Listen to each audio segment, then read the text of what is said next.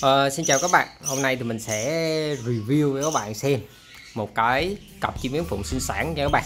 Và bên trong cái tổ yến phụng nó sẽ gồm những gì? Và quá trình nuôi yến phụng sinh sản nó sẽ như thế nào? Đây các bạn hiện tại thì cái tổ này á cái cặp này đây không phải là cái lồng chuẩn để nuôi yến phụng đâu nha các bạn. Tại vì cái kích thước này rất là nhỏ.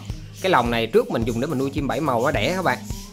Thì uh, lúc trước dịch thì khách mua chim nhưng mà dịch mình không có gửi được nên mình nhốt tạm vào trong cái lồng này. Và nó đẻ còn cái tổ này là cái tổ bảy màu nó rất là nhỏ. Nó chỉ có phần này thôi các bạn. Phần trên mình độ vào để mình mình quay video cho các bạn xem thôi. Chứ không phải mà cái tổ yến phụng nó cao như thế này đâu. Nó chỉ là nhỏ thôi. Đó các bạn. Đây là cái con chim trống này còn đây là cái những cái gì ở dưới sàn nè. Góc nhìn rất là thực tế cho những cái bạn nào mà mà có ý định nuôi yến phụng nha các bạn. Ờ, thức ăn thì mình đựng trong cái hũ tự động kia. À, nước uống thì cống này và cái hũ khón, mình đựng là cái hũ nhỏ dưới sàn nha các bạn. Nang mực này thường thường các bạn lưu ý cho mình ấy là những, đối với cái con yến phụng á, thì các bạn bố trí cho mình á, nó thấp xuống phần đáy nha các bạn. Chim đứng dưới đất ăn không cần, mình thấy nhiều bạn treo cái hũ nước bên, ở cái vị trí như thế này. Mình thấy không hợp lý đâu. Hoặc là các bạn treo hũ khón lên vị trí cao như thế này. Bản chất không cần nha các bạn. Các bạn đưa những cái vị trí như dụ nước này các bạn để thấp dưới này, chim đứng trên sàn uống này. Ok phụ thức ăn các bạn cũng bỏ thấp này chim đứng trên sàn ăn ok này năng mực cũng thấp này hũ khón cũng thấp này nha các bạn. Đó mình không có cần phải là bố trí cao này nọ đâu nha các bạn. Cái còn cái con màu trắng này là cái con chim bố này chim đực chim trống nha các bạn. Còn cái con này là con chim con này các bạn. Đó hiện tại trong cái tổ này á nó đẻ tới hôm bữa mình nuôi á, là nó đẻ tới 8 trứng rồi các bạn. 8 trứng 7 trứng có cồ một trứng không cồ và nó nở chỉ được 6 con thôi. Tại vì cái trứng thứ bảy là nó bị phân, nó dính đó các bạn. Nó rất là dơ nên là thường thường cái trứng nó dính phân ấy là nó bị, nó không có có có thở được các bạn. Tức là trứng nó bị, gọi là mình gọi là bị kín khí á. Nó không có thở được nên những cái trứng đó rất là dễ bị ngộp chết. Cho nên khi mà các bạn nuôi chim mấy con nở trước nó ỉa ra dính trứng cái phân lên những cái trứng sau những trứng sau nó dính phân, nó hô hấp với bên ngoài không được là nó sẽ bị chết cái con chim con đó, mặc dù trứng có phôi đó nha các bạn còn các bạn thấy cái cái khay của mình nè. Khi mà mình dùng một cái khay này á là cái khay khoảng một ngày của mình nè các bạn. Một ngày nè. Một ngày chưa vệ sinh nè. Thì uh, các bạn sẽ thấy nè cái vỏ kê các bạn. Nó chim nó sẽ ăn nó ăn từ hũ tự động rớt cái vỏ xuống. Cho nên các bạn có hỏi mình đó là khi mình dùng hũ tự động như thế này mình có thổi vỏ kê không? Thực sự là không cần thổi nha các bạn. Chim nó sẽ tự nó cào cái vỏ ra. Còn mà một số con nó sẽ bơi đổ cái đó là cái nết của từng con. Cái đó mình không có trị được đó nhưng mà đối với những cái con đàng hoàng như cái cặp này nè các bạn thì nó không có phá nó ăn đâu nó chỉ đổ vỏ kê thôi. Như vậy rất là tiện mình chỉ cần lấy khay để mình dùng. Còn tiếp tới là một số bạn có hỏi mình đấy là bây giờ trong cái tổ yến phụng á, các bạn lót gì? Và có cần vệ sinh tổ hay không? Thì uh, lót á, thì lót cũng được mà không lót cũng được. Nó cũng chả có vấn đề gì hết nha các bạn. Hiện tại cái cặp chim này của mình đó mình lót vào á, thì nó bơi nó nó nó tha ra ngoài nó bỏ hết. Như vậy mình lót hay không lót đối với mình nó cũng bằng không thôi tại vì giờ có lót nó cũng lấy ra ờ, khi mà các bạn nuôi phân chim á phân chim các bạn thực sự ra nó cũng có một cái tác dụng rất là tốt đó chính là khi con chim đi phân ra thì nó khô lại nó thành từng viên từng viên từng viên. Và cái phân mới các bạn phân phức phân ướt nó đi ra thì cái phân cái phân những cái phân cũ nó khô nó hút cái lượng nước đó đi. Như vậy nó giúp cho cái tổ chim các bạn á nó sẽ được thứ nhất nó ấm để giữ nhiệt cái thứ hai là gì? Nó hút nước khô ráo thoáng mát khi mà cái tổ chim đầy các bạn tự động cái con chim mẹ nó sẽ tha ra ngoài nó vứt. Đây các bạn đây này những cái cục cục này này đây là phân chim con. Trong tổ nó thà ra nó bỏ nó bỏ đổ đầy nhà mình luôn các bạn. Cho nên á thực sự ra cái tổ yến phụng mà các bạn có hỏi mình là có thay hay không thay á thì cũng không quan trọng. Nhưng mà có một số tổ nó rất là dơ. Ví dụ những cái tổ nó nơi đi phân ướt đó các bạn.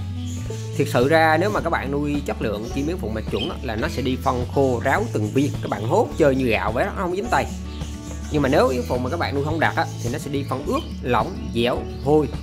Vì phân ướt nó sẽ dính chim con rất là nhiều. Cho nên là các bạn phải thay. Đó đó là một số cái cái kinh nghiệm cơ bản thôi nhé các bạn. Còn chi tiết như thế nào mình sẽ làm từng video từng video. Mình sẽ nói thẳng trực tiếp về vấn đề đó. Còn video này mình sẽ review cho các bạn xem cái gia đình của chim yến phụng này nha các bạn ở đầu tiên thì mình sẽ chuẩn bị một cái gô. Cái cặp này thì nhà mình bây giờ mình, cái trại của mình mình chuyển đi chỗ khác rồi. Mình không có nuôi tại nhà nữa. Mà nhà mình mình sẽ nuôi sân ca là chính. Hiện tại ở nhà mình, chỉ có duy nhất một cặp yến phụng này đẻ thôi. Còn lại là chim kinh doanh thôi chứ mình không có có nuôi đẻ tại nhà nữa. Mà mình chuyển qua cái bên trại khác rồi. Đây các bạn, vô tình thôi. Gọi là gì? Mình mình nuôi vô tình thôi mà nó sinh sản thôi chứ mình cũng không nó thực sự mình cũng không cần nó sinh sản thôi các bạn. Tại vì nhà mình nó rất là nhiều chim rồi đây các bạn tổ này thì nó rất là nhỏ nha rất là nhỏ. Đó phía trong này đây là cái tổ mình độ mình quay video mình chắp hai tầng này lên để mình lấy nét video cho nó sắc nét các bạn xem chơi đấy chứ còn không phải tổ yến phụng nó dài nó cao như thế này đâu nha các bạn. Đây các bạn cái con chim mẹ nó đang nằm ở phía trong này nè. Đó con mẹ màu vàng vàng này nè các bạn. Nó đang ngó mình nè. Đó, các bạn thấy một bầy chim con nằm phía trong không? Đây ờ, một số bạn thì cứ hỏi mình là sách ơi bây giờ cái con bố mẹ màu gì nó ra con màu đó hay sao? Chứ mà thực sự con yến phụng các bạn bố mẹ màu nào kệ? Chuyện đó là chuyện của chim bố mẹ. Còn chim con nó ra màu gì thì cũng là ngẫu hứng rồi các bạn. Chứ cũng không phải là nhất định nó phải màu như vậy đâu. Thì mình đuổi cái con chim mẹ ra nè các bạn. Đó các bạn thấy đẹp không? Một gia đình rất là ấm trong này luôn các bạn. Đuổi con mẹ để không nó mở nó bay cái ầm đó, mỗi lần nó thấy mình các bạn là nó đuổi xuống này nó trốn. Đó các bạn thấy một cái tổ rất là đẹp luôn. Đây các bạn để mình đuổi cái con chim mẹ này ra đây. Đây nó đi ra. Còn đây là con chim mái này các bạn. Cái này mà các bạn nuôi tầm uh, uh, vài hôm nữa thì con chim con nó lớn lên đấy các bạn rất là khó phân biệt chim bố mẹ luôn. Đây các bạn. Đây cái con xanh này là con lớn nhất này còn đầu tiên tổ này mình không có tráo con này nọ tại mình chỉ có một tổ thôi mình không có thay đổi chim con được đâu đó các bạn theo dõi mình thì các bạn biết rồi. Tổ này mình cũng để thí đó thôi. Đó, con này rất là đẹp rất là mập luôn. Đó các bạn thấy rất là đẹp đúng không? Một con này. Đó mình bỏ qua này nha. Con này nó bay được rồi đấy. Cái con thứ hai á, là cái con màu đây nè các bạn. Đây nè. Tổ này là tổ mình để tự nhiên mà mình đâu có đụng gì tới chim con đâu. Đấy con thứ hai này màu trắng này đó các bạn thấy rất là đã đúng không? Cảm giác là nuôi yến phụng chỉ có vậy thôi chứ gì con thứ ba là cái con màu xanh đây nè các bạn. Đây. Đây, đây là các bạn. Con này giống con chim mẹ này. Đó rất là đẹp luôn. Có cái con thứ tư á, là cái con màu vàng. Đây là thứ tự của chim đó nghe. Đây thứ tư là cái con màu vàng. Cái con thứ năm á các bạn là cái con màu đây này đây này Ờ, con này là con này là con thứ tư này các bạn. Con màu vàng mới là con thứ năm là đó con thứ tư là con màu này con thứ năm là con màu vàng. Và cái con út nó là màu tím nha các bạn. Đó, bố mẹ màu mà con một màu khác nó không liên quan gì với nhau hết đó rồi mình sẽ bên trong cái tổ này các bạn thấy không? Các bạn thấy cái, cái tổ này chim con rất là đẹp nha các bạn. Mặc dù là tổ nở được 6 con nhưng mà chim mẹ chăm rất là đều. Cái con lớn nhất này các bạn. Đó cái con lớn nhất là con này nè. Này các bạn. Đó diều nó đồ ăn cũng rất là đầy đủ này các bạn. Đây cái con bé nhất này các bạn. Ui cái diều các bạn thấy cái diều thức ăn không? Đây nè đó. Như vậy mà muốn được cái tổ mà đông con mà khỏe như thế này ấy nó cần hai yếu tố nha bạn. Thứ nhất là thức ăn. Các bạn phải cung cấp cho nó thức ăn phải ok. Thức ăn một phần này một phần phải là khoáng chất này và thức ăn tươi như là rau là bắp. Đó đó là về vấn đề thức ăn. Cái vấn đề thứ hai ấy, đó là gì? Là cái con chim mẹ đó nó phải chăm con chim con, con tốt. Nha các bạn cái điều này là điều rất là quan trọng. Bây giờ có thể nó nở sáu bảy con nhưng mà con mẹ nó lại có cái nết là gì? Dặm chim con hay là cho ăn kém cho ăn nè thì lúc đó chim con các bạn nó cũng bị rơm bị rơm mà nó chết. Cho nên là được những cái tổ mà đông con như thế này á, thì là do con chim mẹ là chính nha các bạn. Ví dụ một số con nó đẻ trứng ra, tỷ lệ cồn nó thấp, hoặc là nó nở thấp, nó ấp giữa nhưng mà nó chăm con rất là tốt. Còn như cái cặp này là đẻ cũng ok, ấp cũng ok, trứng con cô cũng ok, chăm con cũng ok, rất là tốt luôn bạn. Nếu mà các bạn có những cái cặp mà bố mẹ mà nó tốt như thế này, thực sự là nó sinh lợi nhuận cho các bạn rất là nhiều. Ví dụ mình có cỡ tầm ờ, hai chục cặp mà cặp nào cũng như thế này thì nó thực sự các bạn, kinh tế rất là tốt các bạn. Thường yến phụng các bạn nuôi tầm 4 con là các bạn một tổ nó ra được bốn cái chim con là các bạn có dư rồi.